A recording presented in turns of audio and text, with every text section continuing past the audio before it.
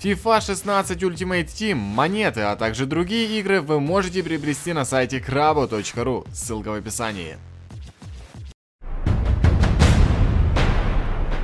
Примерно вот так вот я вчера реагировал на новости о FIFA 17. Всем привет! Вчера в Кёльне, это Германия, на Gamescom нам рассказали очень много новой крутой инфы о FIFA 17. Итак, нас ждут новые легенды. Марк Овермарс, Пол Сколс, Джейми Каррагер, Алессандро Дель Пьеро, Уле Гунар Сульшер, Карлес Пуйоль, Хуан Себастьян Верон, Эммануэль Петти, Рио Фердинанд, Луис Эрнандес. Все вроде бы неплохо, 10 новых легенд, хорошо. Я рад любым новым легендам, но Роналдо, тот, который Луис Назарио де Лима, а Роналдиньо, а Тири Анри, а Дэвид Бек, Бекхэм, а другие... Ну ладно, легенд становится больше, и это хорошо. Кстати, вот вам новый дизайн карточек в Ultimate Team. Вроде бы симпатично. Вы только посмотрите на то, как теперь будут открываться паки у FIFA 17. Новая анимация открывания паков, это просто офигеть!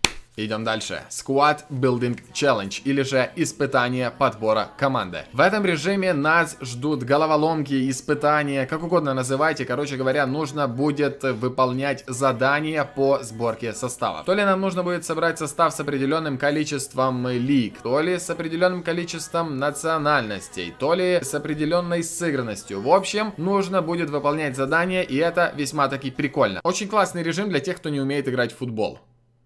Ну, по крайней мере, у меня такое первое впечатление сложилось. Э, но, на самом деле, я также, пожалуй, попробую себе в этом режимчике. Посмотрим, что оно и как. А за выполнение заданий вы будете получать прикольные награды, среди которых, наверное, стоит выделить карточки игроков, которых нигде больше нельзя будет получить, только в режиме испытания подбора команды. И что реально прикольно, так это то, что собирать состав можно будет на ваших мобильных устройствах. То есть, если вы куда-то ушли по делам, и тут у вас вылетело свободных несколько минут, и вы думаете, думаете, блин, что же делать? И тут, опа, ультрасовременный Тетрис от FIFA 17, собираете состав, получаете карточки. Вот так я, наверное, и буду делать. А вот теперь, друзья, самая офигенная новость, которую я ждал просто много лет.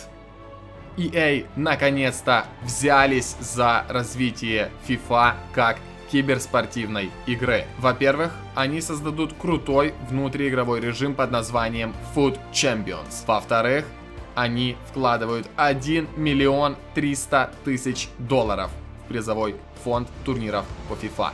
Но обо всем по порядку. Итак, Food Champions. Для начала вам нужно будет сражаться в ежедневных турнирах на выбывание. И если вы выиграете в одном из них, тогда вы пройдете Weekend League. И вот здесь уже начинается самая настоящая жара. У вас будет возможность сыграть 40 матчей. Чем больше побед, тем круче награда. И это на самом деле офигеть как круто. Если ты классно играешь в FIFA, ты не должен тратить деньги на FIFA Points. Тебе достаточно просто выигрывать Weekend League больше и больше и больше. Получать круче призы, получать дофига монет. И прикольный нюанс. Если я не ошибаюсь, то для участия в Food Champions EA будут давать нам задания, точнее точнее условия по сборке составов. То есть каждый раз у нас будет другой состав, который мы будем играть в Food Champions. И это не все. Если у вас будет больше, чем 36 побед, вы будете просто круче, чем элита, вы будете в топ-100 мира, у вас будет шанс попасть в Ultimate Team Championship. FIFA Interactive World Cup. Это просто жесть. Подробности, пожалуй, нам дадут уже э, где-то так в сентябре вместе с выходом новой FIFA. Подписывайтесь на мой канал и на мои соцстранички, чтобы не пропустить подробную инфу. Food Champions, дорога к первому дивизиону, сюжетный режим с Хантером. Когда все успевать играть, записывать, э, монтировать, стримить.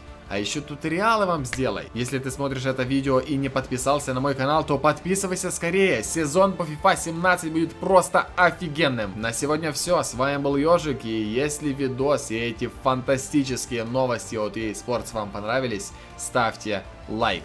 До встречи и всего хорошего.